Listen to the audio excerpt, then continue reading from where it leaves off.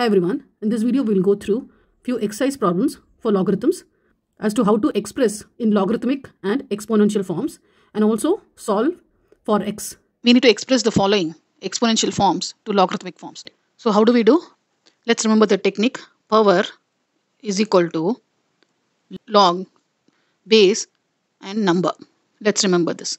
So what is power here? Power is 5. 5 is equal to log, what is base? This is base. 2 and the number is 32.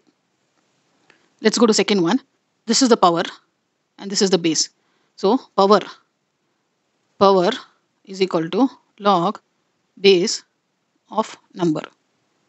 So this is power minus 2.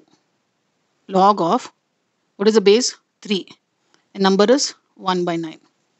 Third one, this is power. So minus 2 is equal to log of base. This is base 5 and the number. So let's write it, rearrange this. We'll just shift left hand side and right hand side. Simple, right? So if you use this particular format, then it's easier to write the logarithmic form. So now here we will take examples where logarithmic forms are given. We'll have to convert them into exponential form. We have first one log 81 to the base 9 is equal to 2. Now how do we write this? This is the base, right? Base, this is the power. Remember this. This is the power. If you can remember this arrow from base to the other side of the equation, remember this form. So now what you'll do? 9 power 9 to the power 2 is equal to this number 81. Similarly, I'll take this. So 10 to the power minus 2 is 0.01. Same thing. 2 to the power minus 2 is 1 by 4. See, you can validate. 9 square is 81. 10 to the power minus 2 is nothing but 1 by 10 square, which is 1 by 100. 1 by 100 is 0.01. Here, 2 to the power minus 2 is 1 by 2 square, is 1 by 4.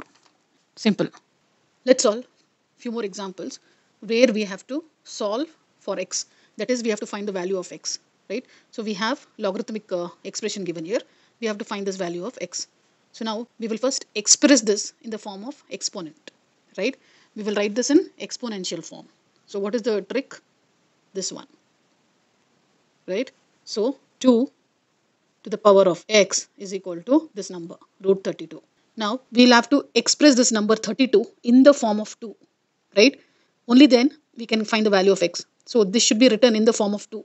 So you can write it as 2 into 2 into 2 into 2, 2 to the 4. When if you multiply 2 5 times, you're going to get 32. So you can write this as root of 2 to the power 5. This is 2 to the power x. Now we will have to express this root, right? We can write the square root. We can write this as 2 to the power 5 to the power half. So remember this, right? Square root should be written as to the power half. Square root is to the power half. So now this is nothing but 5 into 1 by 2, right? Remember that uh, uh, theory of indices. If you have something like this, then it will be a to the power m into n. Now 5 into half. 5 into half is 5 by 2.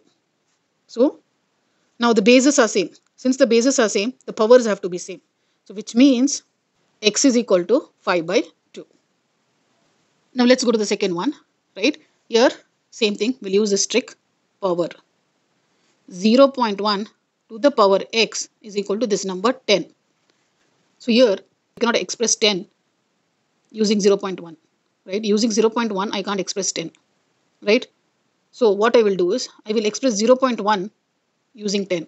That is, I can write 0.1. What is 0.1? 0.1 is 1 by 10, right? 0.1 is 1 by 10. And what is 1 by 10? 1 by 10 is 10 to the power minus 1. 1 by 10 is 10 to the power minus 1. And then we have x here, right? So, minus 1 into x is minus x is equal to 10. Now, there is nothing here, so we can assume that there is power 1 here, right? Which means bases are same, so we'll equate the powers. So, minus x is equal to 1 or x is equal to minus 1. So remember what we did here? We could not ex express 10 using 0.1 but we express 0.1 using 10 right. So 0.1 is nothing but 1 by 10 and 1 by 10 is nothing but 10 to the power minus 1. We'll take the third example. So let's use this. So cube root of 5 to the power 6 is equal to x. Now you can write cube root of 5 as 5 to the power 1 by 3. Square root of 5 can be written as 5 to the power half. Cube root of 5 should be written as 1 by 3. So cube root 1 by 3. Square root 1 by 2. If you had something like this, fourth root of 5, then you would write it as 1 by 4. So now here we write cube root of 5 is 5 to the power 1 by 3 and then we have 6 here. Right? Now we'll multiply this using theory of indices, right? So it will be 1 by 3 into 6 which is 6 by 3 is equal to x. So it will get cancelled. We'll get 2. So we'll get 5 square is equal to x. That is 25 is equal to x. Therefore, x is equal to 25. Now let's go to the fourth example. Here x to the power 4 is equal to this number 625. So what should x be here? So we'll have to write some number to the power 4. Some number to the power 4 would be 625. So we can write this as 5 to the power 4 is 625. 5 to the power 4 is 625. Now the powers are same. Since the powers are same, bases should be same, right? We know that if bases are equal, then powers are equal. Vice versa is also correct. Vice versa also is true. If powers are equal, then bases are equal. From here, we can infer that x is equal to 5. So, we have come to the end of this particular topic. Thanks for watching. Hope this video was useful.